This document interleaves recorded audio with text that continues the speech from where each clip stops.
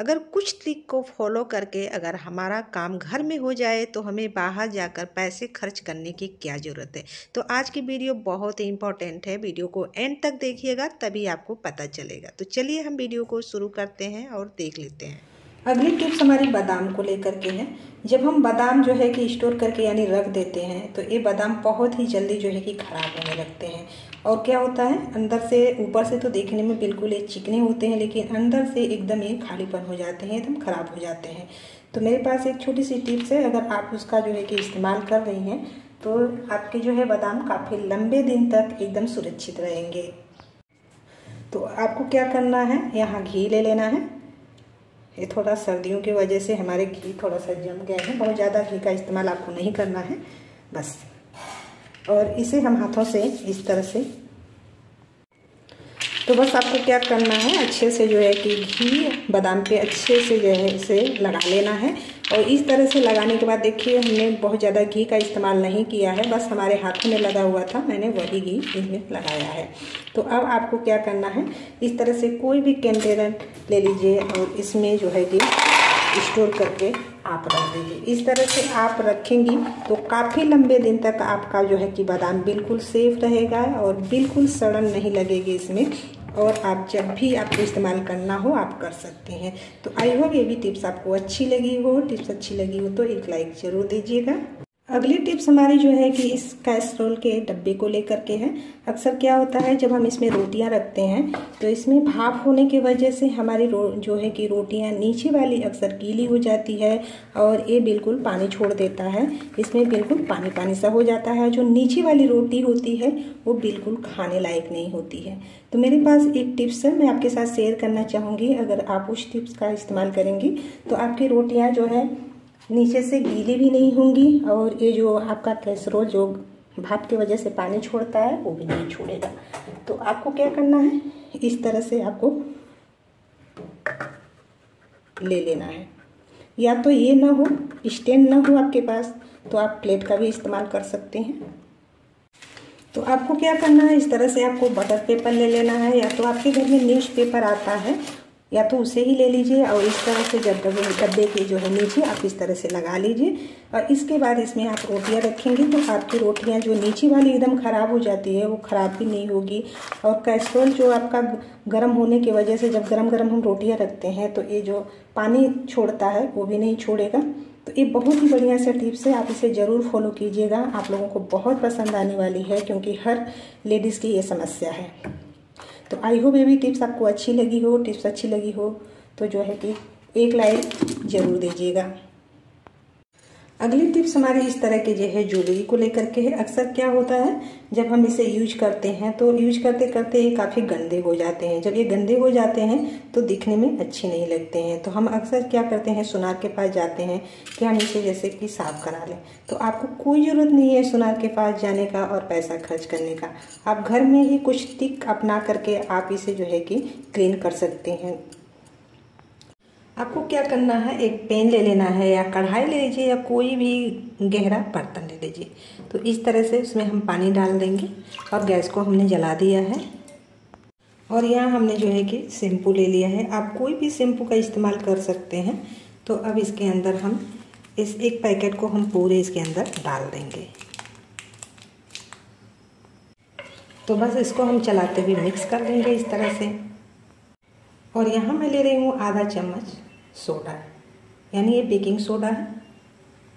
और इन सबको डाल करके हम मिक्स कर लेंगे। और इसके बाद हम इसमें अपनी जो है, ये ज्वेलरी को डाल देंगे। तो जो भी आपके पास ज्वेलरी हो, जो साफ़ करना हो तो इस तरह से इसके अंदर आपको डाल देना है सारे को। और थोड़ा सा, थोड़ी देर तक इसे जो है कि इसमें उबलने देना है। तो अब क्या करना है? अब हमें जो है गैस को बंद कर देना है और गैस बंद करने के बाद इसे पानी के अंदर से निकाल लेना है। अब इस तरह से आपको एक जो ब्रश ले लेना है, जो ब्रश आप यूज़ नहीं करती हूँ, उसी ब्रश का आप इस्तेमाल कीजिएगा और इस तरह से इस पर आपको थोड़ा सा ब्रश चला देना है। अब देखिए, आपको जो है कि दिखते ही फ़र्क नज़र आ रहा होगा कि ये पहले की अपेक्षा पानी में डालते ही कितने ये जो है, एकदम साफ़ हो गया है, एकदम चमक रहा है। तो इस तरह से आप जो है इसकी सफ़ाई कर सकते हैं। तो,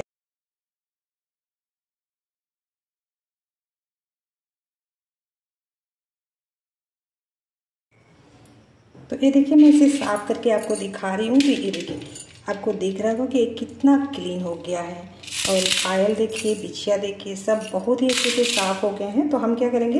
हमने यहाँ एक सूती कपड़ा ले लिया है और इन सबको थोड़ा सा हम पोछ लेंगे। और हम इसका जो है कि पालिश भी देंगे, आज दिखाएँगे आपको कि पालिश करके कि कैसे हम इसका पालिश करते हैं। ये बहुत ही पुराना तरीका है, क्योंकि हमारे दादी नानी का है, पुराना है लेकिन बहुत ही परफेक्ट है। तो बस इस तरह से हम सारे को पहले पूछ लेते हैं। यहाँ हमने ले लिया है सिंदूर। तो जी हाँ ये सिंदूर है। सिंदूर से ही हम पॉलिश करने वाले हैं यहाँ पे। और पॉलिश करने से पहले आपको क्या करना है? जो ज्वेलरी आपने रखी हुई है, उसे अच्छे से जो है कि सुखा लेना है। सुखाने के बाद ही इससे जो है पॉलिश करना है। तो बस सिंदूर उठा करके और हमें ज्वेलरी पे अच्छे से हाथों से जो है कि रब करना है। और जैसे जैसे आप रब करोगे, देखोगे कि बहुत ही अच्छी इसमें जो है चमक आने लगेगी। और इस तरह से हमें इस पर लगाना है। जैसे पॉलिश करते हैं, बिल्कुल उसी तरह से हमें हाथों से इस तरह से करना है। आपको दिख रहा होगा कि ये बहुत ही अच्छी तरीके से ये और भी चमकने लगेगा। और मैं इस पर भी इसी तरह लगा लेती हूँ।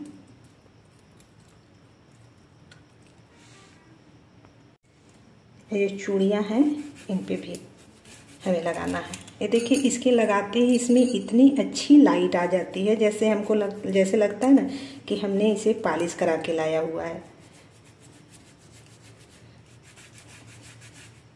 इस तरह से। ये देखिए।